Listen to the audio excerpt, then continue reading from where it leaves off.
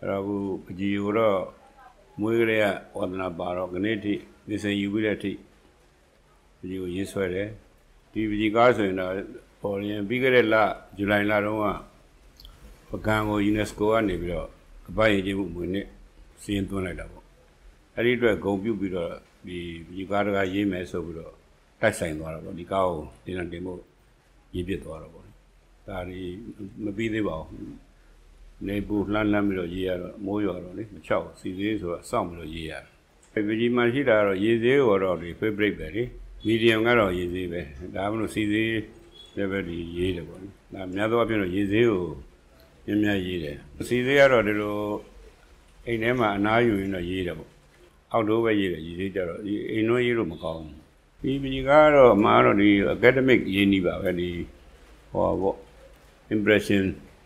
ဘက်ကိုလည်းရောက်တယ် realism ဘက်ကိုလည်းရောက်တယ်သို့တော်လည်းဟိုအယောင်ကြတော့ academic ဆရာကြီးတွေရေးတဲ့အနည်းစနစ်အတိုင်းပဲရေး